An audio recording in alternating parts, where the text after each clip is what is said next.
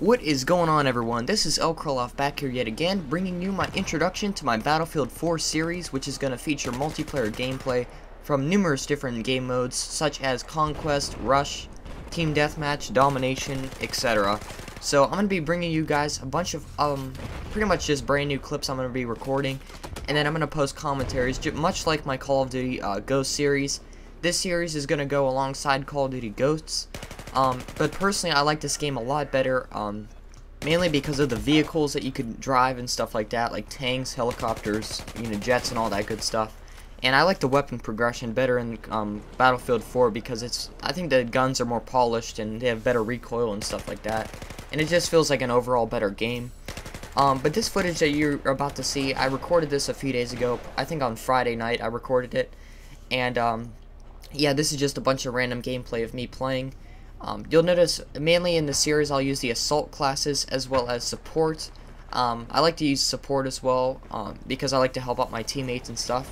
Um, I'm usually I'm sort of big on playing with LMGs in the Battlefield series. I always have been. It's something I always liked, you know, using because you have a lot of rounds just to mow people down. And I might post a little bit of sniper gameplay, although I'm not really good with sniping in Battlefield. Um, I was good in Battlefield 3 sniping, but not really in this game for some reason. Um, in, in case you guys are wondering, this series is going to feature gameplay clips, uh, most likely Conquest I'm going to be playing a lot, because that's the game mode I love.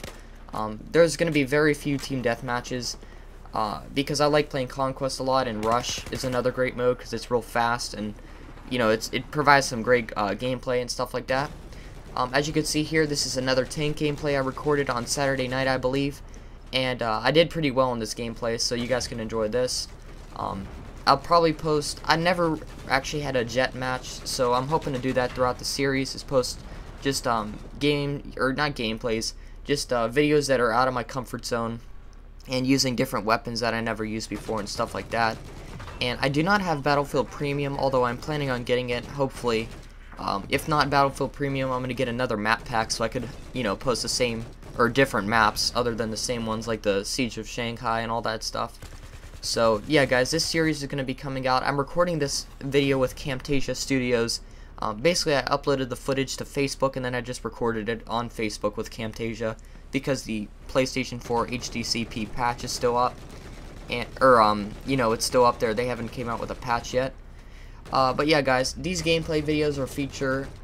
Uh, it's going to be about maybe 30 minute episodes or 20 minute episodes, depending on how long each match is and I'm going to feature commentary discussing the gameplay, and I might post a few live commentaries. I'm not really sure about that yet.